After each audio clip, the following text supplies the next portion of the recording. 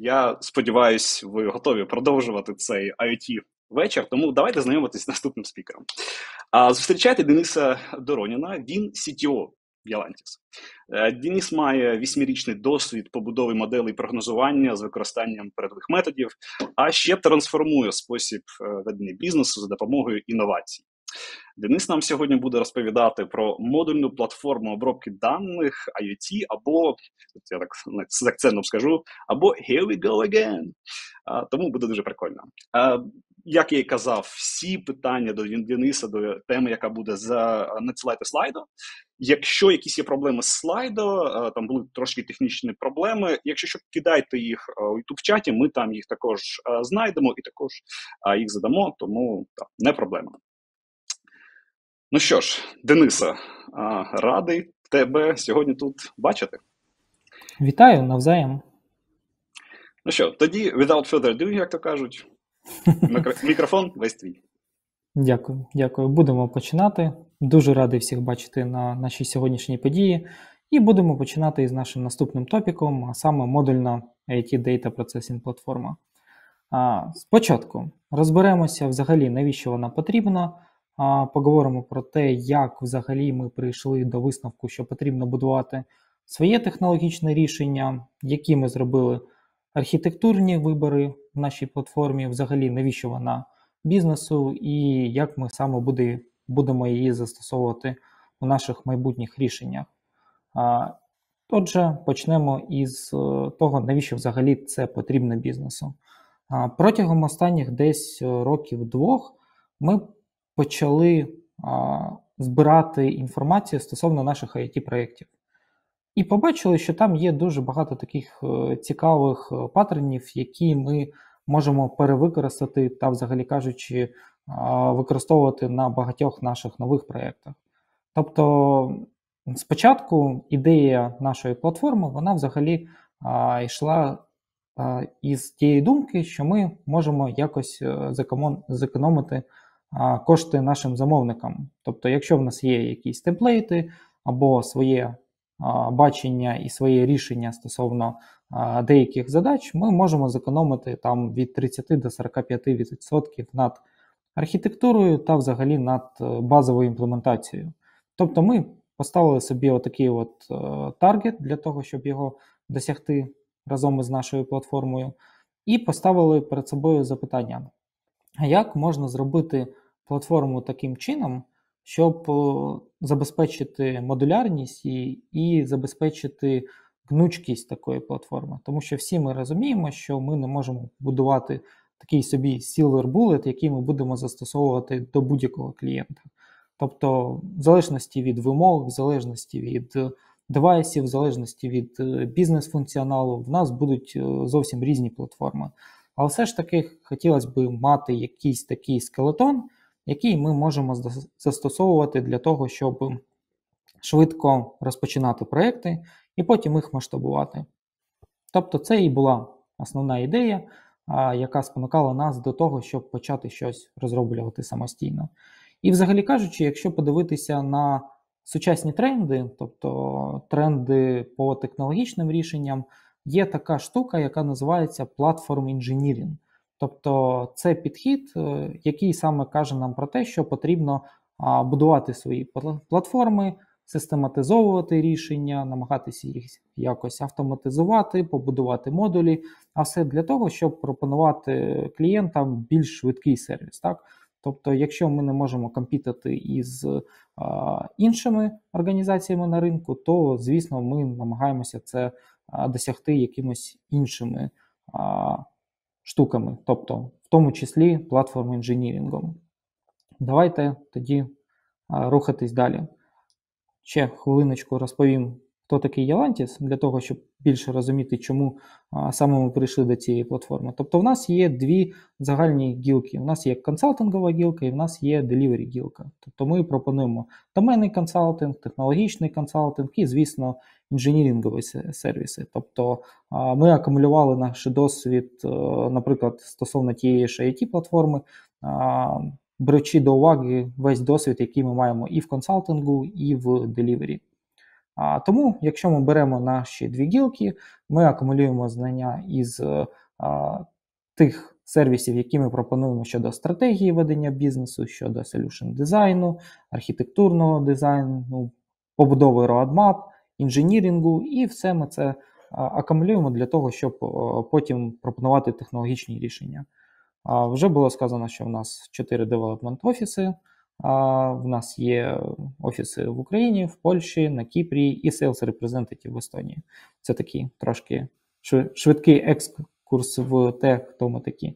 А тепер повертаємося до нашого топіку з it платформою Що ми зараз зробимо?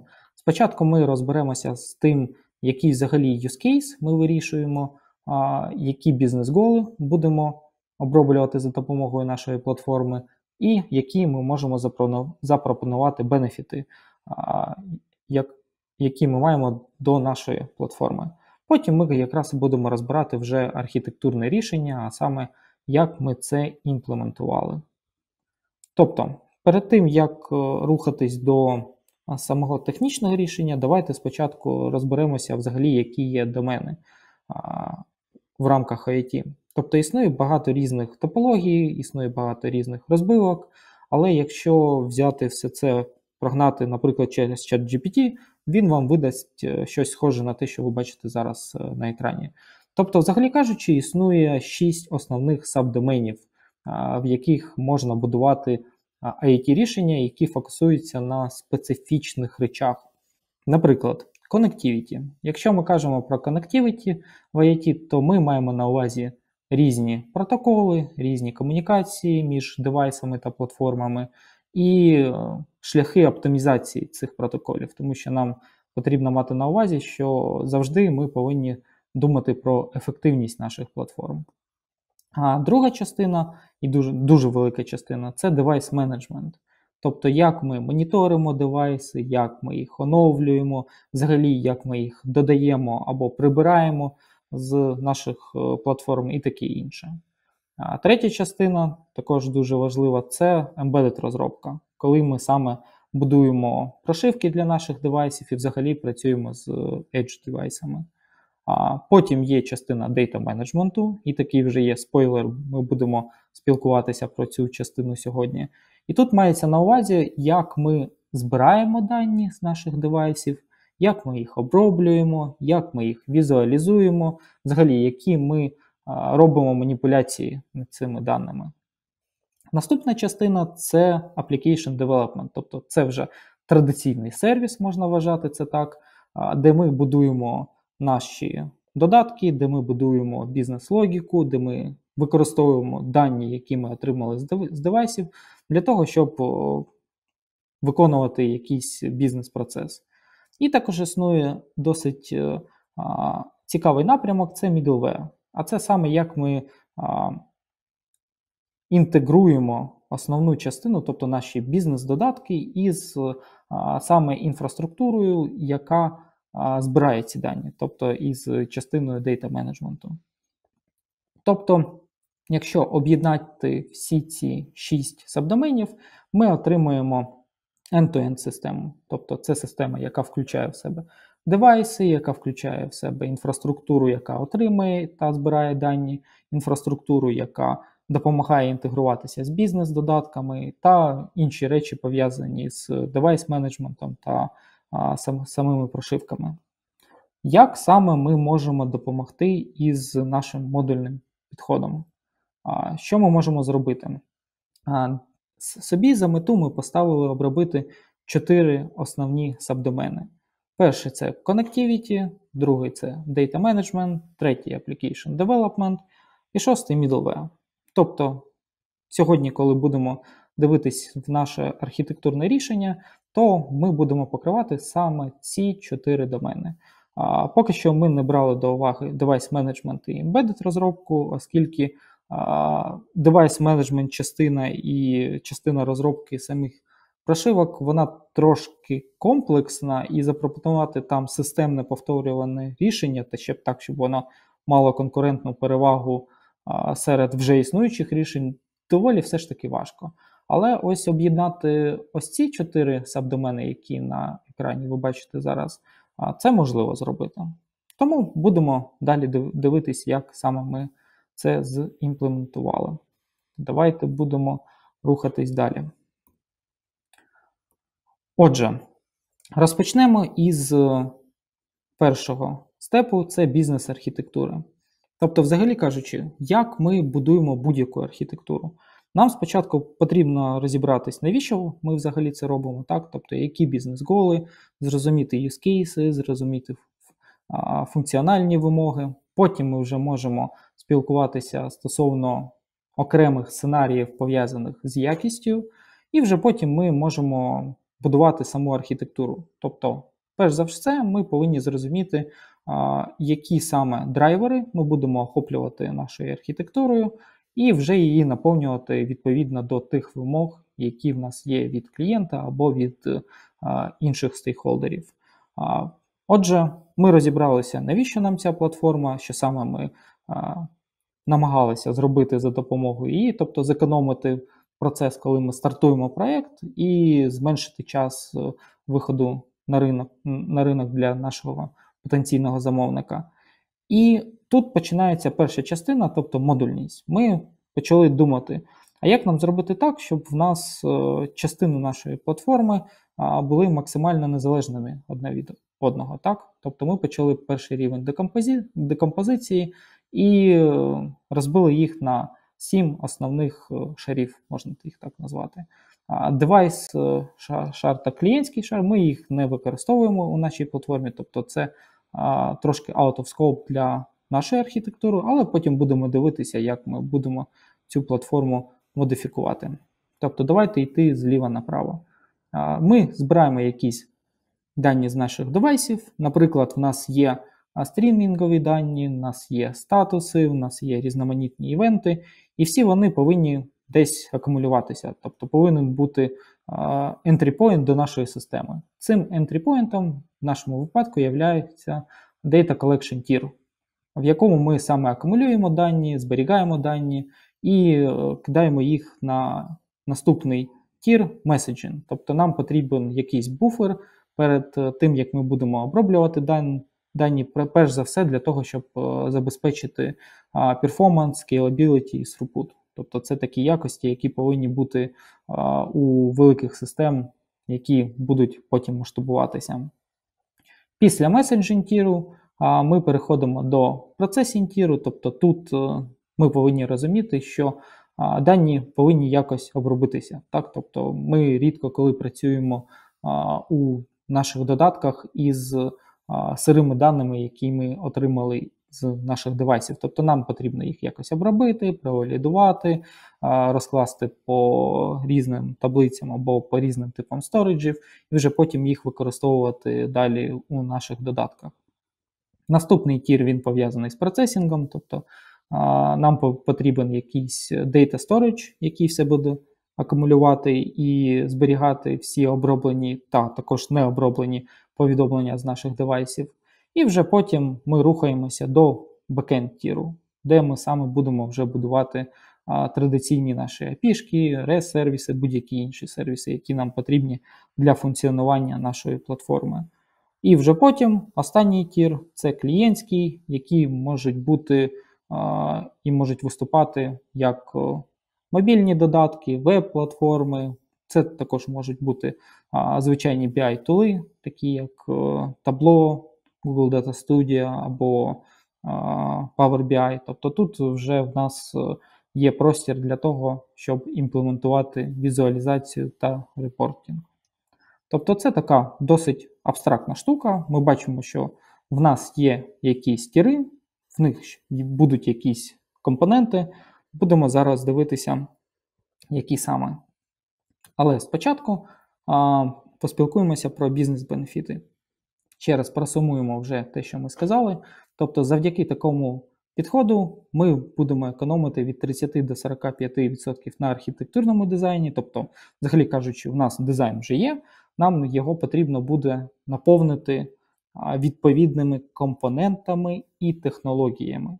І, звісно, це потім зекономить е, нам час на імплементації, оскільки в нас вже є готові темплейти, готові скрипти для того, щоб цю інфраструктуру створювати і для того, щоб її підтримувати.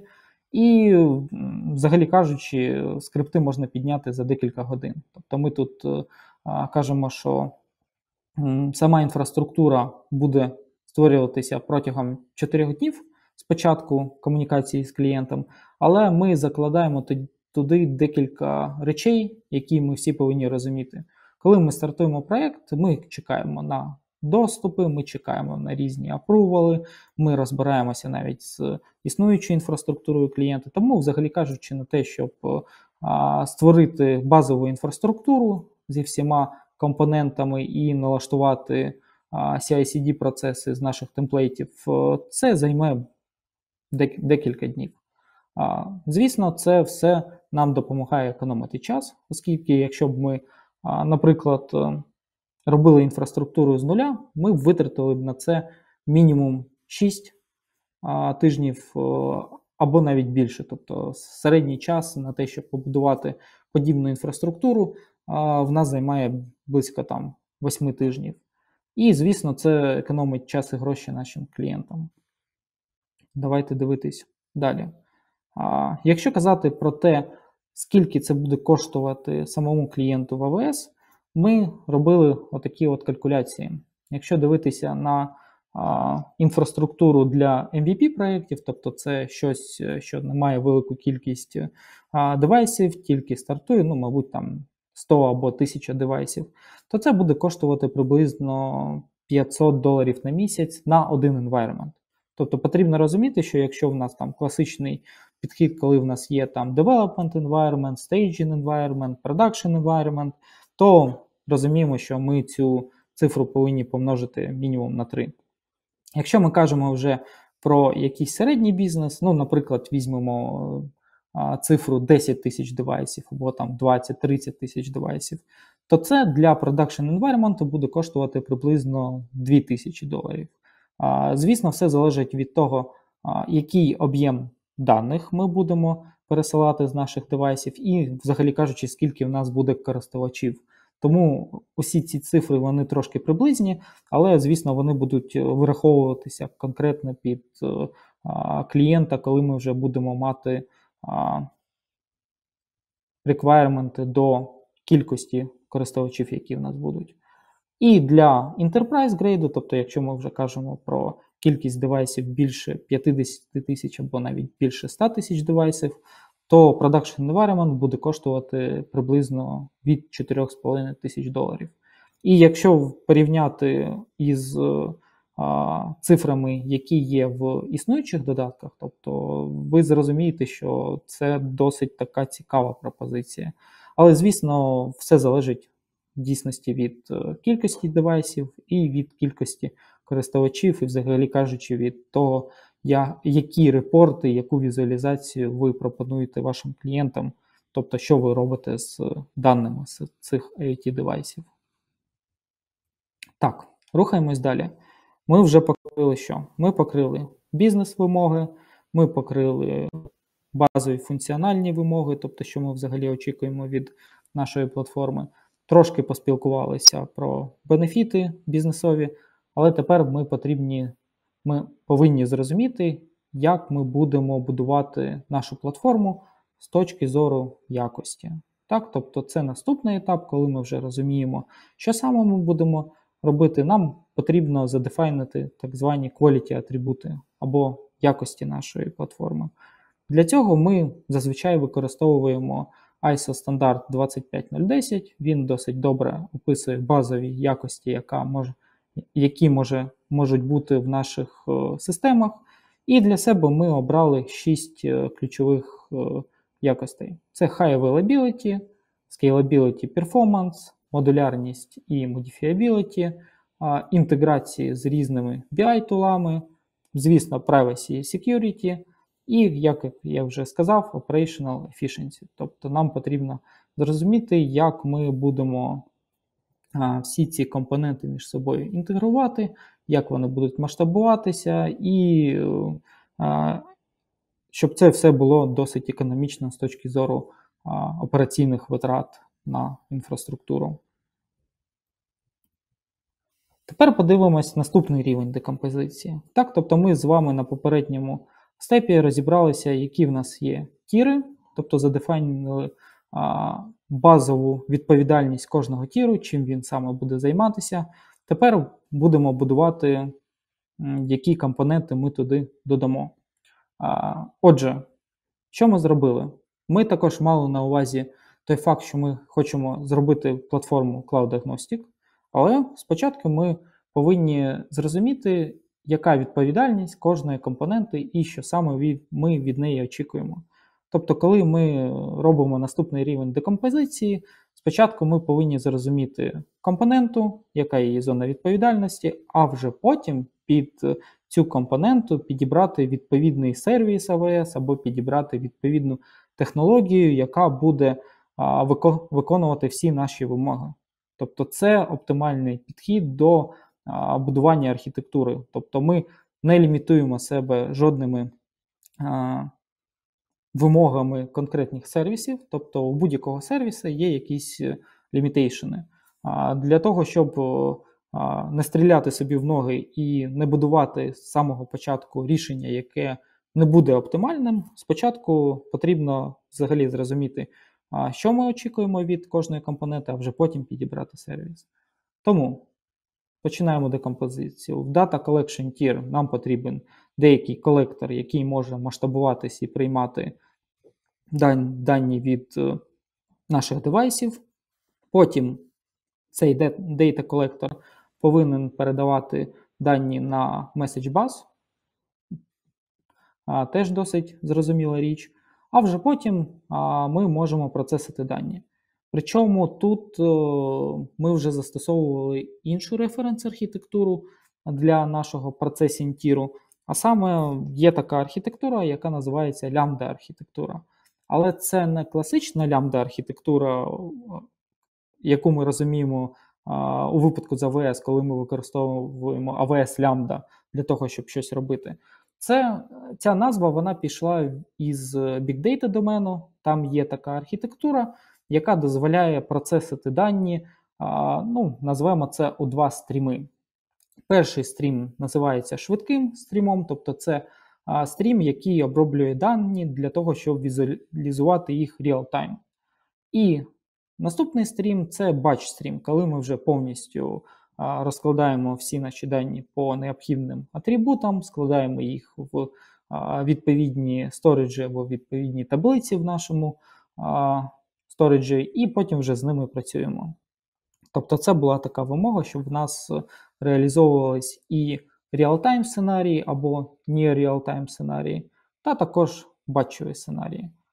Звісно, нам потрібно буде декомпозувати і зрозуміти, що ми будемо робити в data-tier-і, тобто які е, raw storage ми використовуємо, які object storage нам потрібні, як ми це це будемо кешувати, і, взагалі кажучи, побудувати такий собі data warehouse для всіх наших даних. Потім вже в нас є backend tier, і там вже може бути дуже велика варіація сервісів і а, компонент. Тобто тут показана найбільш е, типова і найбільш а, проста, я так скажу, декомпозиція. Тобто, в нас є якась API, яка використовується як бекенд для наших клієнтів, в нас є адмінка, а, і в нас є якісь статичні файли, наприклад, у нас є фронтенд, який ми будемо потім загружати і виконувати в наших браузерах. Стосовно клієнтів, там вже взагалі може бути повна каша. Тобто, в нас можуть бути веб-клієнти, мобільні клієнти, в нас можуть бути BI-tool-и, тобто там, взагалі кажучи, може бути все, що завгодно. Тому ми цей tier вже не декомпозували, він не є частиною самої платформи, тобто наша платформа вона обмежується п'ятьма tier-ами, які ми бачимо всередині. Тобто ми відкидаємо device tier, оскільки ми його ніяк не manage-имо, ми лише за відповідними протоколами отримуємо дані і зберігаємо їх і оброблюємо. І клієнтські тіри вже теж out of scope для а, скелетону, які ми побудували.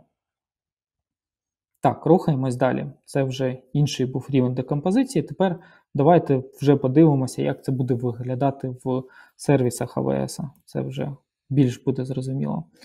А, І тут починаємо із Data Collection Tier. Тобто тут ми обрали AWS IoT Core. Існують різні опції, як саме можна збирати дані із е, девайсів. Це можуть бути якісь е, свої кластери, це можуть бути managed сервіси. Для того, щоб е, стартувати MVP і, взагалі кажучи, будувати інфраструктуру швидко, ми вирішили на початку використовувати IoT Core. Наступний рівень, наступний tier це messaging tier. І тут ми обрали кавку і або її менеджет версію від AWS е, Amazon MSK.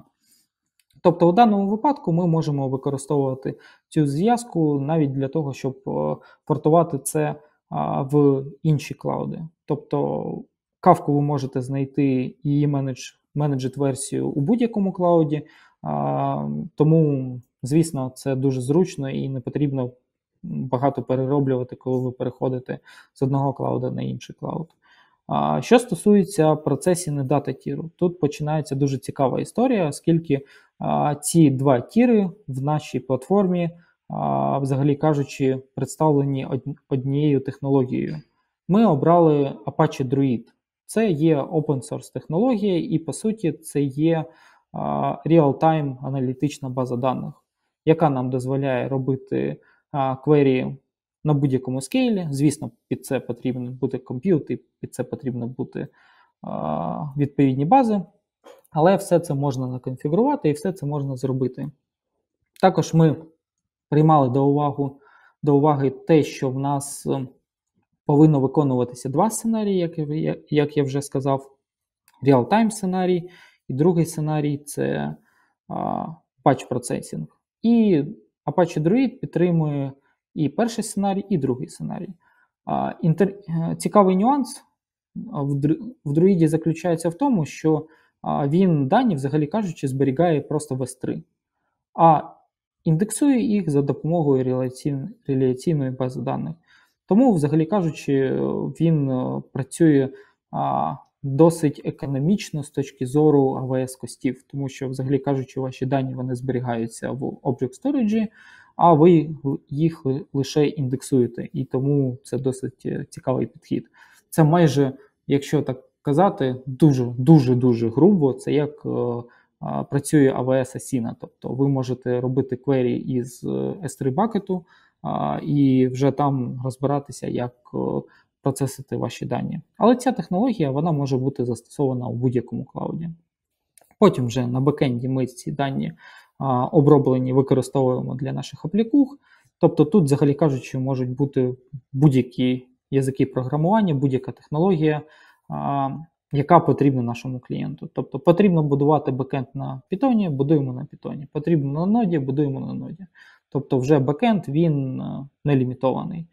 А а тому там, наприклад, backend tier і вже там наступні tier-и, там вже можуть бути а, варіації стосовно самої імплементації.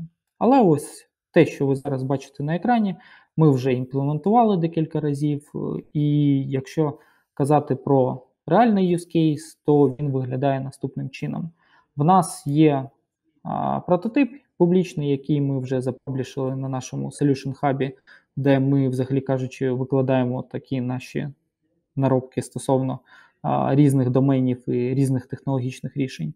І а, це use case, який імплементує моніторинг використання електроенергії по різноманітним домогосподарствам.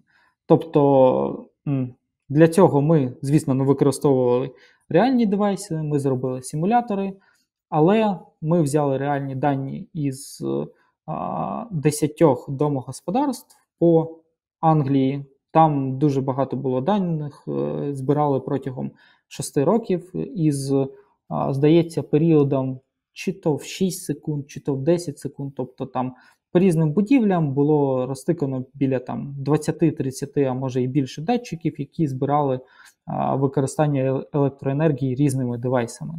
І на основі цих даних ми побудували дешборди. Тобто ми зробили реал-тайм дешборди, які показували, наприклад, е, скільки використовує електроенергії конкретний девайс в конкретній будівлі Показували акумульовані графіки, тобто там використання електроенергії за декількома будівлями і е, за різними критеріями і фільтрами. І це нам все дозволило зекономити приблизно якраз ті самі 6 або 8 тижнів розробки. Тобто ми розробили спочатку наші скелетони і модулі для от тієї архітектури, що я показав на попередньому слайді, а потім вже дешборди ми побудували приблизно за місяць або півтора. Потрібно ще згадати, скільки ми на це витратили часу. Тому ця штука вона вже й працює, є робочим варіантом, і, звісно, ми будемо потім вже покращувати а, нашу платформу і додавати туди більше фіч, якщо це буде потрібно для того, щоб краще і швидше стартувати наші проекти.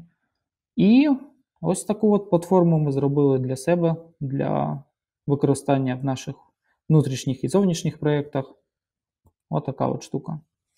Це і все, що я хотів сказати на сьогодні. Давайте будемо тоді переходити до секції питань. Дякую всім за увагу. Так, е, Денисе, дуже дякую за все, що ти зараз розповів, за твою доповідь. Е, дуже цікаво, до поради і все, все, все. А, Так, давай по питаннях, тому що їх трошки поназбиралося. Людям цікаво, звичайно, і хочуть трошечки деталі. А, О, так, Це так. цікаво. Давай. Давай одна з перших. І е, це також те, що мені цікаво, тому що ну, ми давай будемо відверти, схожі платформи є. Чи ви розглядали open source? І чому саме власну платформу вирішили розробляти? Дуже цікаве запитання. Звісно, ми, коли будуємо будь-яке рішення, повинні орієнтуватися на те, а чи є вже готові платформи. І тут е, таке запитання: те, що більшою частиною ми використовуємо цю платформу як а, такий швидкий старт для наших клієнтів. Оскільки, як я вже сказав, ми тут акумулюємо 4 з 6 сабдоменів IoT, і досить важко знайти платформу, яка буде задовольняти всім нашим вимогам. Тобто, наприклад, щоб це можна було провіженити в власній інфраструктурі, щоб це було масштабовано, щоб це було cloud-агностик, а це взагалі не пропонує жодна платформа так, зараз, так. зараз, наскільки я знаю. Тому так, е, ця платформа вона не має широкого функціоналу, але вона вирішує оцю дуже специфічну частину, а саме cloud-агностик і старт проєктів. Тобто, ось за цими двома критеріями, на жаль, будь-яка а платформа існуюча, вона не підходить. Зрозуміло, так, це це дуже має сенс. А якщо так перейти трошки від цього питання далі, вже були приклади, коли а, доводилося б переїжджати з одного клауд на інший з подібного роду платформою? Ви знаєте, це дуже часте питання від клієнтів. Це цікаво. І все це іде від того, що клауди пропонують різні скидки. І буває, що в різний час ну, такі інфраструктури вони коштують, ну, давайте казати, багато. так? Тобто це а, великі гроші для стартапів.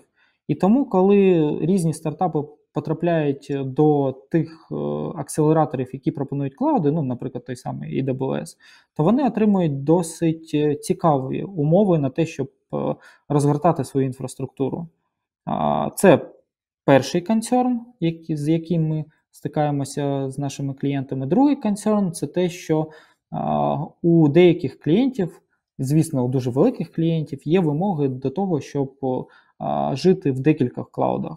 Так? Тобто для mm-hmm. того, щоб все ж таки бути більш надійними, мати диверсифіковану інфраструктуру, деякі клієнти також хочуть бути в мультиклауд. Якщо в нас є платформа, яка може розгортатись і в AWS, і в інших клаудах, і все це ще робити із одніми і ті, тими же компонентами, це буде легше потім підтримувати, оскільки навіть е, якщо ви свідчуєтесь з однієї платформи на іншу, я маю на увазі з одного клауда на інший, то ви будете розуміти, що там в плані інфраструктури знаходиться всередині. Ну так. Тобто, як по підручнику, ви міняєте один один леєр, а інший просто ну, троїте взагалі. Круто. Ну, да. на папері завжди так, так. Міняється одне нічого не, не відвалюється. Але в житті бувають трошки. Ну, ми кажемо про такий Так. книжний варіант. В да, що Воно так, повинно так, так, так. бути, і ми хотіли, щоб воно так було. Тому от така архітектура. Да. Так, так, так, так. Да. Чудово, чудово, дякую. А трошечки у інше е, підемо сторону, і люди питають про приклади девайсів, що буває, що можливо вже пробували або плануєте тут використовувати. Тобто, для чого це бекенд? Угу. Гарне запитання. А, наразі ми працюємо із е, тими протоколами, які пропонує AWS AT Core. Тобто, взагалі кажучи, ми не лімітуємось до конкретних девайсів. Ми ставимо собі за вимогу працювати з тим самим MQTT, з е, LoRaWAN і іншими протоколами, ті, які саме пропонуються як е, entry point. Тобто, взагалі кажучи, наша задача там перших трьох тірів: Data Collection, Messaging Tier і Processing Tier – це отримати raw дані із девайсу за тим протоколом, який в нас є, скласти їх в наш storage, і вже потім на бекенді там розбиратися, що з цими даними робити. Так. Ну, ось такий підхід. Make sense. А, це також було таке е, питання. Я зараз я її комбіную. Дійсно сказав про, про перші леєри, та, і це був Data Collection, якщо я не помиляюсь, і Мгм. а, був ще Data Storage. Та? І Угу. обидва з цих а, леєрів вони ну, роблять схожі речі, але на різних етапах. Угу. Угу. Можете прокоментувати, тобто, чи це не занадто редандент, чи взагалі ну, чому це було зроблено? Тобто, яку е, проблему це вирішує? Ну, дивіться, воно хоч і починається зі слова дата, обидва тіри, але все ж таки вони а, виконують трошки дві специфічні функції. Data Collection Tier, він, а, його можна, взагалі кажучи, перейменувати до Entry Tier, Entry Point Tier. Тобто його а, задача це отримати да, да, дані з девайсів і направити їх до. А, Тобто, так, це може бути, це може виглядати як трошки redundant штука, тому що, взагалі кажучи, а чому ми не можемо там напряму кудись вже пушити в processing tier. Але так, є вимога до data loss у деяких клієнтів, є вимога для того, щоб а, сама платформа була більш reliable. Це все, звісно, збільшує lat- latency. Чим більше в нас є компонент між девайсом і там нашим data tier ом, звісно, це буде додавати latency до продукту. Але це все покращує надійність, взагалі кажучи, платформи. І її scalability, і масштабування потім. Тому так, є, Дійсно, є речі, які ми не можемо ніяк змінити, на жаль. Трошки десь е, повинні бути трейдофи. та, та, звичайно, трейдофи це ну, взагалі про що є архітектура. Немає silver bullets, завжди є одне і інше.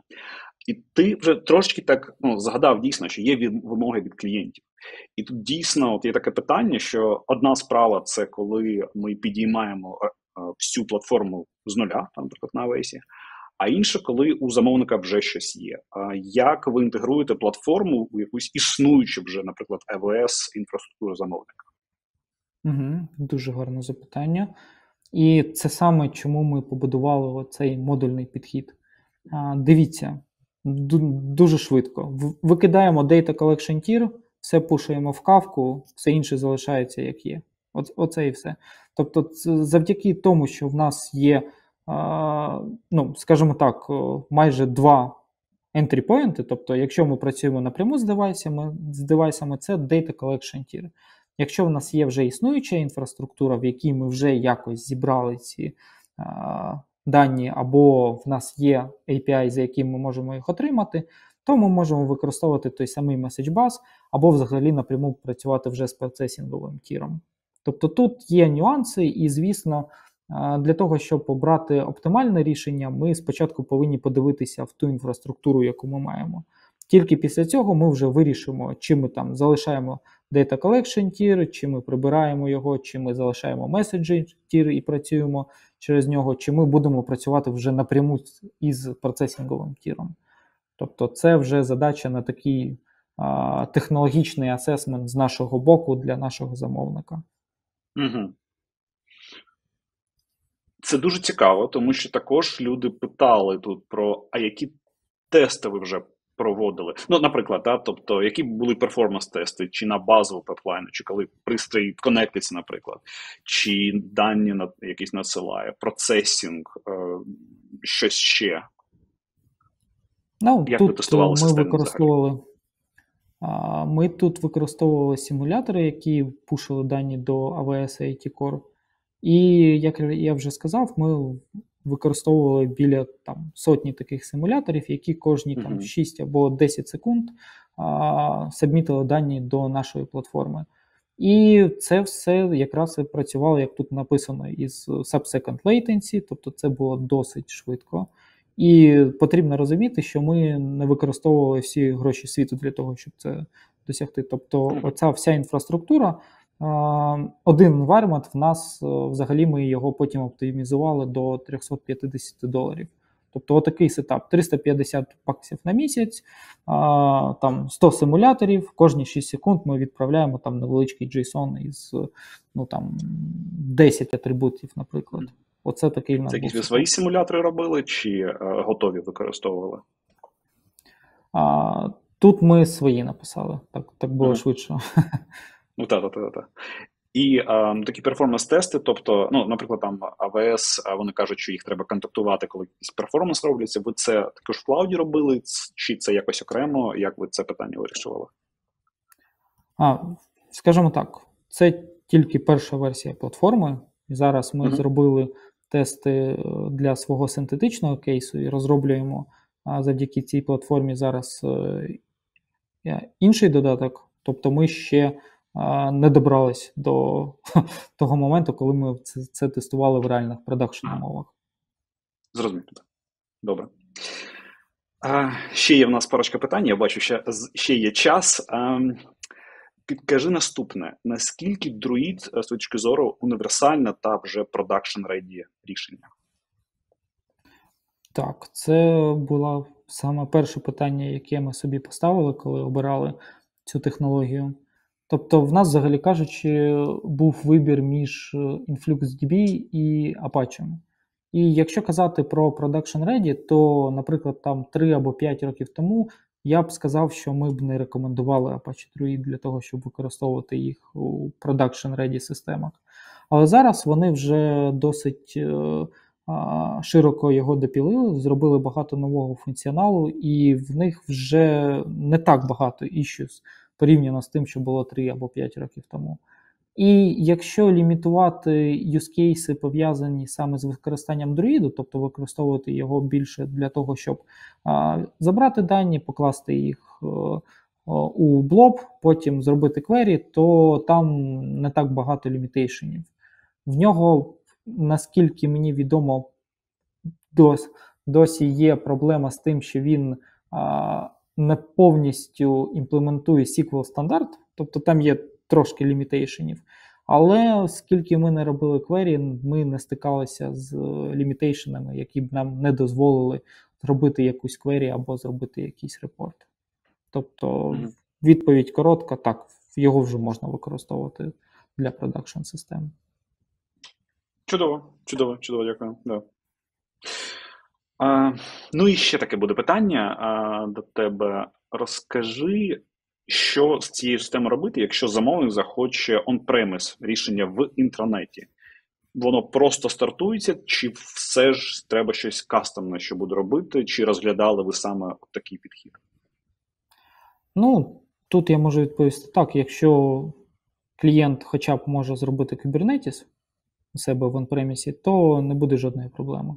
Тобто воно все контейнеризовано, все можна запустити, і це запущено в Kubernetes, ну тут у цьому випадку в VKS, але лише потрібно буде розібратися з тим, як ми збираємо дані. Тобто ми ж повинні розуміти, що якщо в нас е, система знаходиться on-premises, в якомусь там приватному, в якійсь приватній мережі, але девайси в нас де вони знаходяться? Вони ж напевно, знаходяться або у зовнішній мережі, або десь інше, тому потрібно буде налаштувати цей Data Collection Tier, Або якщо девайс все ж таки знаходиться у внутрішньому периметрі цієї організації, то, взагалі кажучи, проблем буде ще, ще менше. Але так, основний концерн тут буде саме Data Collection Tier. Чудово, чудово. Е, Денисе, дуже дякую тобі за відповіді, за твій час, за те, що ти з нами поділився своїм досвідом сьогодні. Дякую, дякую всім. Якщо будуть додаткові запитання, додавайтесь в LinkedIn, будемо спілкуватися, якщо комусь цікаво продовжити цю тему. Та й взагалі просто Дякую. додавайтесь в LinkedIn.